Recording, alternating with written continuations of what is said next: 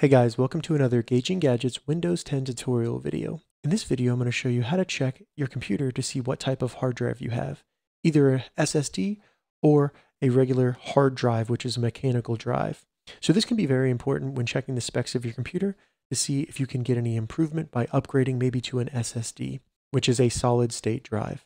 All right, so let's go ahead and get started with how to check your computer to see if you have a hard drive or a solid state drive.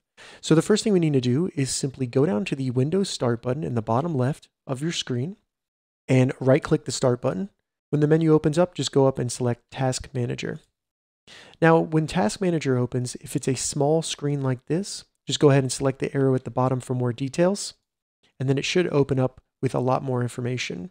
From here, in the top tab, all we need to do is select Performance, and then as you can see here, you have your CPU information, your memory, and we have disk.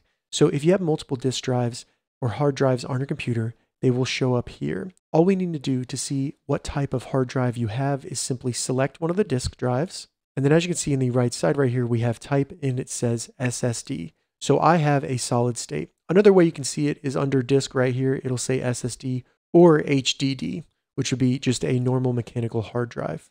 If you have multiple disks, they'll both be listed here and you can see the same information under type. If the hard drive type is not showing up in the task manager, simply perform an update of Windows 10 and you should see that information there.